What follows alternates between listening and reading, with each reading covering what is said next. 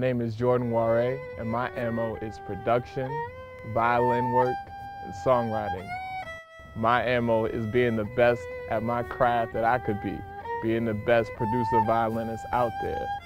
I started playing violin when I was seven years old. Um, I was very jealous of everybody who was playing violin in my class, so I tried to join and I was rejected at first, but I tried again the next year and I made it in, only to find out that my mom was actually a violinist as well.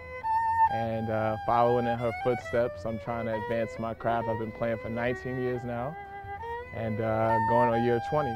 And uh, it's a blessing. It's taken me all over the world, different countries, Switzerland, Italy, Australia, you know what I mean? And uh, keeping on going, and especially with the production work, it enhances it so much because I'm already a musician, so I already bring that musicianship into my production.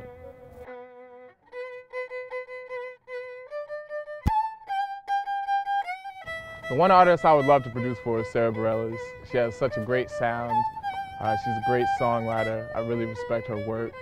Fell in love with her first project. Loved her second project as well. Um, and definitely look forward to working with her in the near future.